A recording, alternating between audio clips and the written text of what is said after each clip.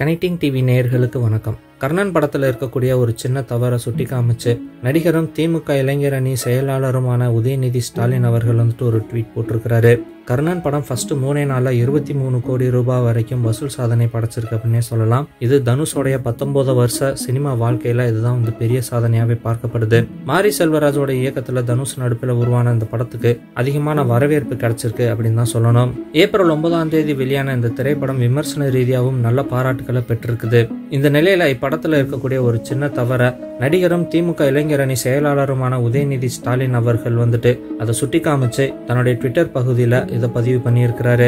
அதில் அவர் என்ன சொல்லியிருக்கிறார் அப்படின்னா கர்ணன் படத்தை பார்த்தேன். ஒடுக்கப்பட்ட மக்களுடைய வழியே மறுக்கப்பட்ட அவர்களின் உரிமைகளை மிகைப்படுத்துதல் இன்றி எடுக்கப்பட்ட இந்த படத்தை கொண்டாடப்பட வேண்டியதுதான். நண்பர் தனுஷுக்கும் அண்ணன் வி கிரியேஷன்ஸுக்கும் இயக்குனர் மாரி செல்வராஜுக்கும் என்னுடைய அன்பையும் வாழ்த்துக்களையும் நான் தெரிவிச்சுக்கிறேன் அப்படின்னு சொல்லி போட்டிருக்கிறாரு. அதே நேரத்துல ஆயிரத்தி தொள்ளாயிரத்தி தொண்ணூத்தி அஞ்சுல அதிமுகவுடைய ஆட்சியில நடந்த கொடியன்குளம் கலவரத்தை மையமா வச்சுதான் இந்த படத்தை வந்து எடுத்திருக்காங்க. அந்த சம்பவம் ஆயிரத்தி தொள்ளாயிரத்தி தொண்ணூத்தி ஏழுல கழக ஆட்சியில நடந்ததா காட்டப்பட்டிருக்கு. இதனை தயாரிப்பாளர்கள் இயக்குனர் கிட்ட நான் சுட்டி காமிச்சேன் அந்த தவிர ரெண்டே நாள்ல வந்துட்டு சரி பண்ணிடுறோம் அப்படின்னு சொல்லிட்டு எனக்கு உறுதி கொடுத்துருக்காங்க அப்படின்னு உதயநிதி அவர்கள் வந்துட்டு சொல்லியிருக்கிறாரு. அது மட்டும் இல்லாம இதை சரி பண்றதுக்கு நன்றி அப்படின்னு தெரிவிச்சிருக்கிறாரு உதயநிதி ஸ்டாலின். ஸோ அனைவரும் கொண்டாடப்படக்கூடிய இந்த படத்துக்கு ஏகப்பட்ட பேர் வரவேற்பு தெரிவிச்சுக்கிட்டு இருந்தாங்க அப்படின்னாலும் இன்னும் நிறைய பேர் வந்துட்டு இதுக்கு எதிர்ப்பும் தெரிவிச்சு வந்துட்டு இருக்காங்க.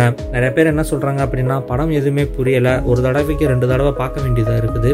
அது மட்டும் இல்லாம காட்சிகள் எல்லாமே ரொம்ப கொடூரமா இருக்கிற மாதிரியும் இருக்கு அப்படின்ற மாதிரி விமர்சனங்களும் வந்துகிட்டு இருக்குது. இந்த மாதிரி விமர்சனங்கள் வந்துகிட்டு இருந்தாலும் தேட்டர்ல படம் பார்க்கறதுக்கு கூட்டங்கள் குவிஞ்சுகிட்டு இருக்கு அப்படின்றது தான் உண்மை. இப்படி ஒரு நிலையில கர்ணன் படத்தை பார்த்துட்டு வெளியே வந்த ஒரு சில இளைஞர்களுக்கு பயங்கரமான தர்மடி விழுந்திருக்கு. அப்படின்ற மாதிரியான தகவல்களும் வெளியாயிருக்கு. இது சம்பந்தமான ஒரு வீடியோவும் சமூக வலைதளங்கள்ல ரொம்பவே வைரலா பரவி வந்துட்டு இருக்குது. அதாவது கர்ணன் படத்தை பார்த்துட்டு வெளியே வந்ததுக்கு அப்புறம் தனுஷை பற்றி தவறா பேசினதுனால அங்க இருந்த தனுஷ் ரசிகர்கள் வந்துட்டு அந்த நபர்களை பயங்கரமா தாக்கி இருந்திருக்காங்க.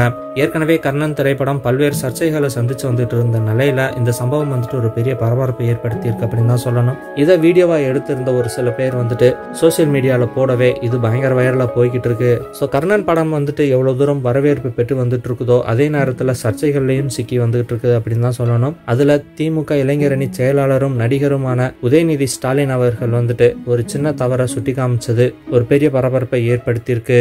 நீங்க இதை பத்தின உங்களுடைய கருத்துக்களை எங்க கமெண்ட் பாக்ஸ்ல பதிவு பண்ணுங்க. இந்த வீடியோ பிடிச்சிருந்ததுன்னு சொன்னா லைக் பண்ணுங்க ஷேர் பண்ணுங்க. கனெக்டிங் டிவியோட அப்டேட்ஸ் எல்லாம் தெரிஞ்சுக்கிறதுக்கு சப்ஸ்கிரைப் பண்ணி கூடவே நோட்டிபிகேஷன் பெல்லையும் கிளிக் பண்ணிருங்க. இது வரைக்கும் கனெக்டிங் டிவிக்கு சப்ஸ்கிரைப் பண்ணனா மறக்காம சப்ஸ்கிரைப் பண்ணிக்கங்க.